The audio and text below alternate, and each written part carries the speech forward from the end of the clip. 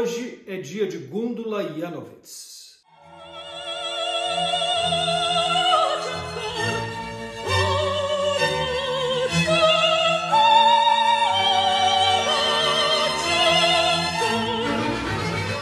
A soprano alemã Gundula Janowitz nasceu no dia 2 de agosto em Berlim no ano de 1937, mas ela cresceu na cidade austríaca de Graz, onde ela fez o conservatório. E a carreira internacional dela teve início quando o maestro Herbert von Karajan a convidou em 1959 para cantar as Bodas de Fígaro do Mozart na Ópera de Viena. Daí para diante, ela cantou em todas as mais importantes casas de ópera do mundo, com os grandes maestros, e deixou registros absolutamente impecáveis. Ainda que ela tenha cantado muitas vezes papéis wagnerianos, a Gundula Janowitz não tinha uma voz muito grande, dessas que enchem uma grande sala de espetáculos, mas ela se destacou ao longo do século XX como uma das cantoras de ópera mais impressionantes, porque ela tinha um timbre cristalino,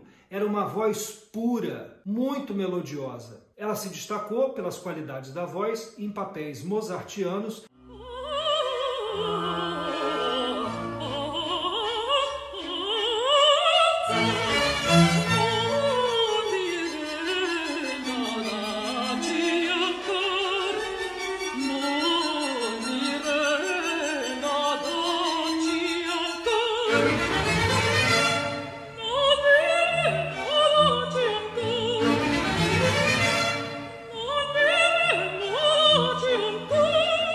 Ainda me lembro a primeira vez que eu tive contato com esse nome, não é um nome comum para nós, né? Gundula. Eu estava ouvindo uma versão da Nona Sinfonia de Beethoven com Herbert von Karajan, gravada com a Filarmônica de Berlim, e eu estava numa fase em que eu ouvia repetidamente todo dia uma mesma obra com diferentes maestros.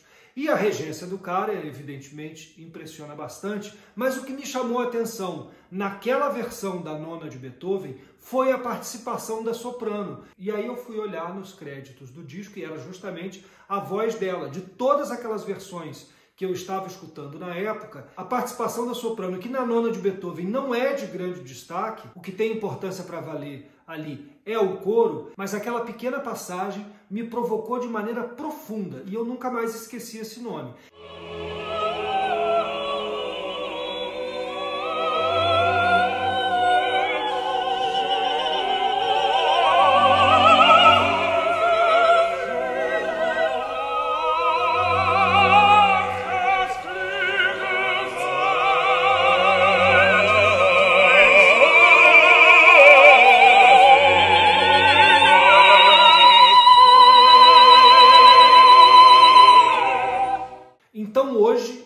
de agosto, bora lá no teu aplicativo de música, vamos ouvir a voz pura e cristalina de Gundula Janovitz. A minha dica é para você escutar as quatro últimas canções do Richard Strauss. Existem muitas versões, mas para o meu gosto, a versão mais lírica, com a voz mais bonita, é a que ela fez na década de 70 com o maestro Karajan.